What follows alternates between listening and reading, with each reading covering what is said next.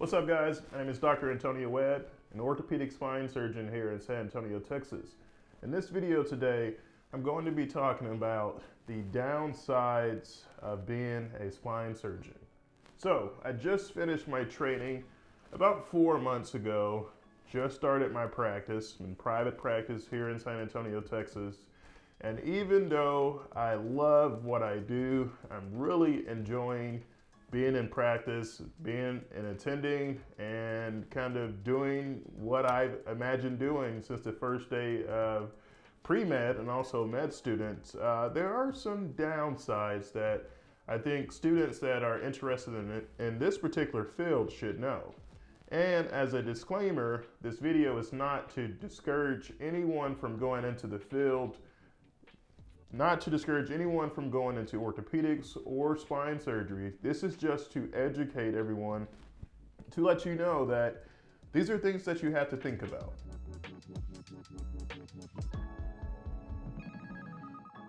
So, the first downside of being a spine surgeon is the duration of training that it takes to become one. It's a long time. I can't think of any other profession out there that requires you to go to school for 14 to 15 to 16 years to finally get done.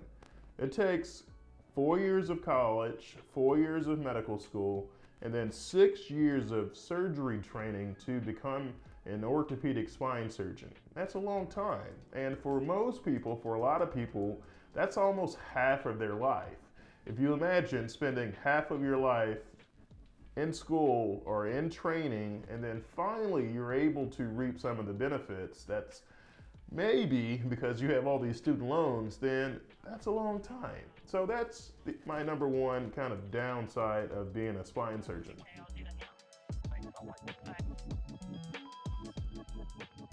The second downside of being a spine surgeon is that the hours can be very hectic.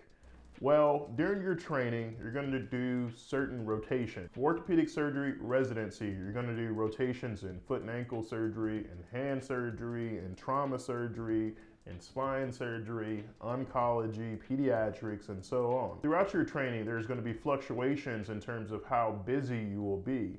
Some rotations are busier than others. Some residency programs are busier than others. So on trauma rotation, you can expect to work sometimes 80 hours, sometimes 100 hours per week.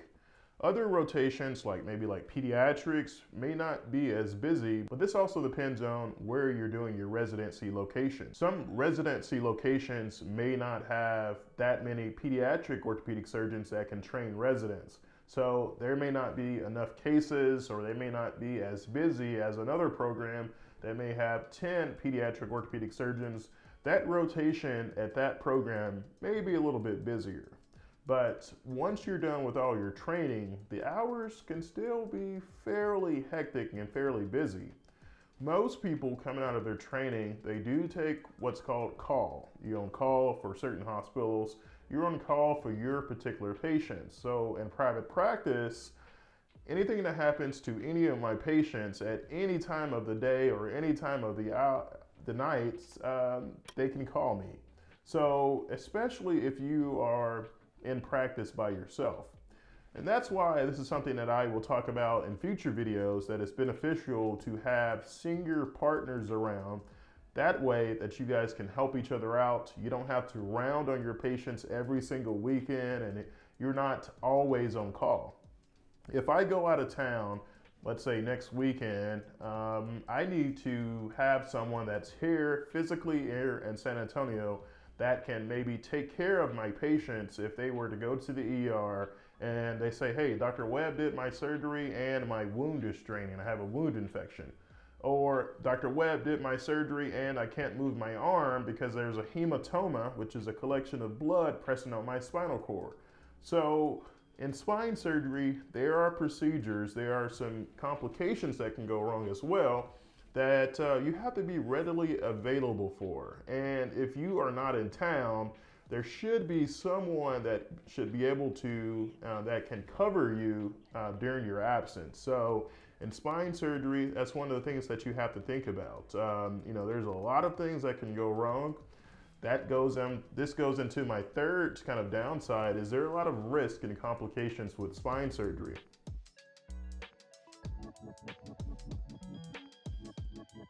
When you're dealing with the spinal cord, you're dealing with the nerves, uh, the spinal cord is very unforgiving, which means if, you, if there's a pound of pressure or there's a lot of pressure on your spinal cord, it can cause irreversible damage. The same thing that happens in surgery. When I'm decompressing someone's spine and I'm using certain instruments that are uh, going in and they're slowly taking off and very meticulously taking off the pressure off the spinal cord and whether this is a ligament or a piece of bone or a disc herniation, I have to be very careful because if I push too hard, that can cause some damage uh, to the spinal cord depending on which location of the spinal cord, whether that's in the cervical spine, thoracic spine, or lumbar spine. So the risks in spine surgery are very high. A lot of things that we do, it requires a lot of training. The screws that we put in the spinal cord are sometimes put into the bones in the spinal cord within a few millimeters of that spinal cord or some important vessels like the aorta or the vertebral artery. If you damage or injure those vessels, that can be very devastating for patients. So the risks are great, but I think there's even a greater reward as patients do really well if their surgeries are indicated properly. So the third downside is that complications can be very high in spine surgery and you have to be able to be very accessible. So if I did a surgery just this past week, at any moment right now, if I were to go out to dinner with my wife or family or friends, and then the ER calls me and say, hey, Dr. Webb, we have your patient here, it is my duty to go see that patient um, in a very timely basis. So that's a downside. Then we can get into academic versus private practice versus being an employee. I have another video about that, and I'll put that right up here. But if you are in a group with other doctors, or if you have residents, or if you have a PA, well, those people can help you uh, go see a patient or do certain things when you're out of town. Well, I'm in private practice. Luckily, I have other doctors that I work with that if I go out of town, I'll just tell them, say, hey, can you keep an eye on my patients over the weekend? Uh, but if you're in a group by yourself, or if you're the only spine surgeon, that may be very difficult to do.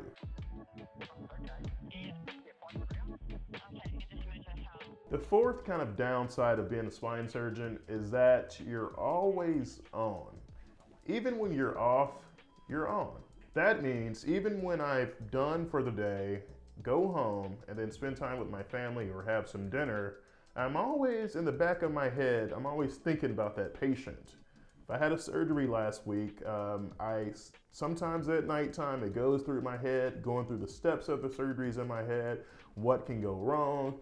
Even after I completed the surgery, I constantly ask myself, like, hey, did I do everything properly? I hope this patient doesn't get an infection. I hope this patient doesn't get a blood clot or has or has a heart attack. All these things can happen after doing surgery. And as a surgeon, I'm constantly thinking about uh, what can go wrong and what I should have done. So I guess it's maybe my personality, but I imagine other surgeons that are out there kind of um, have this similar type of personality. This is compared to other specialties like maybe like anesthesia or emergency medicine. When you go into the hospital and then you do your shift as an ER doctor, well, when you go home, you don't have that patient that can call you in the middle of the night and say they have uncontrolled pain from the surgery that you did. You can leave what you have done at work, you can leave that at work and then separate that from home. And certain conditions and certain procedures, certain specialties, um, it may be difficult to do that. If you're an ER doctor and you had a bad day, you had a patient that, that died, you're doing CPR, you may think about that at home, but it's not like as a surgeon, I'm constantly on, I'm constantly thinking about my patients, and I'm also thinking about things that can go wrong or things that I need to do for that patient. So it's one of those things when you're choosing a specialty, that's one of the things that you have to take into consideration.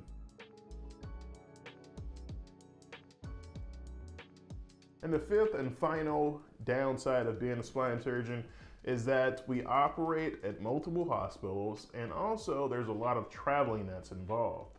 So depending on the patient's insurance and also how sick the patient is, how many comorbidities, whether they've had a heart attack in the past and I need to do their surgery at a heart hospital because I think that patient will be better suited there. Well, that hospital may be 20 minutes away from me. Another hospital that I have a second surgery of that day, this patient may need just a decompression of their lumbar spine, and I can do this at a surgery center, so I'll have to travel from one hospital to another to go do both of those surgeries for the day. And after certain surgeries, um, say for instance, I have three surgeries in one day, I may have a surgery at this hospital, a surgery at this hospital, and have to go see patients at this hospital over here. Just because of insurance and how sick the patients are, and where I think, as a surgeon, my judgment where that patient will be best taken care of. So that's another downside. It's a lot of driving. One of the hospitals that I work at here in town is about 30 minutes away from where I currently live. And just this past week, I had two surgeries. One was at one hospital, the other one was at a second hospital, and my office location is at another kind of area of town. So I had to drive to one hospital that was 25 to 30 minutes, go see a patient that I did surgery on, drive to the second hospital that was another 20, 20 minutes away to see another patient that I did surgery on, and then I had to head to my office to start clinic by 8 a.m. Everybody's practice is a little bit different, whether you're a private practice, employed, or academic center. Some surgeons are able to just do everything in one particular hospital or clinic location. But I do know a lot of spine surgeons who have four office locations, or it may have three office locations and they operate at five hospitals. So it can be very hectic. It can be, be very uh, demanding and time consuming um, as a spine surgeon. So these are the downsides that I think, um, you know, students, if you're thinking about this field, that you should think about. This is video is not to discourage anyone from going into the field of medicine. It's a great field. It's a great career. I love what I do. I love the surgeries. I love the patients. And um, th these are just things that you need to think about. What are some other downsides of spine surgery, orthopedic surgery, if you're an orthopedic resident or an attending or of your specialty? What are some downsides? I would love to hear from you. Thank you everyone for watching this video. Make sure you subscribe. New videos coming every week. We'll see you next time.